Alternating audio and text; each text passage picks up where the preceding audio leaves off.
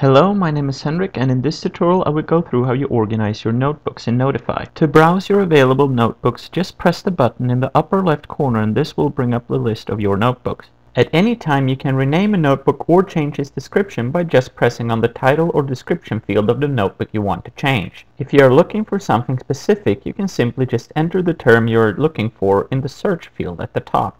You can choose how this list is sorted by using the sort button in the lower left and choosing which criteria you wish to base the sorting on. You can also control which properties of the notebook should be shown in the list by pressing the display button.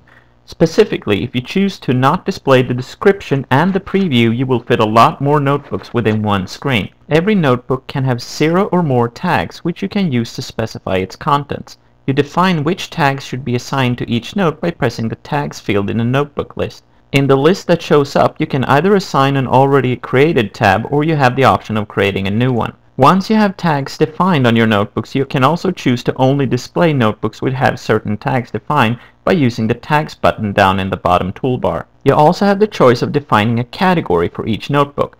To define a category, just select the notebook you want to give a category to and press the Category button. Here you can either choose an existing category or create a new one. If your sort order is custom, you can also change the order in which the categories will be displayed in the notebook list. Also, with this sort order, if you click the Edit button, you're able to reorder the notebooks in the list yourself.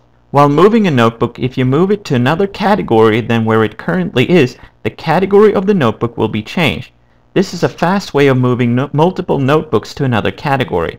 While in the Edit mode, you also have the option of deleting notebooks. Thank you for watching.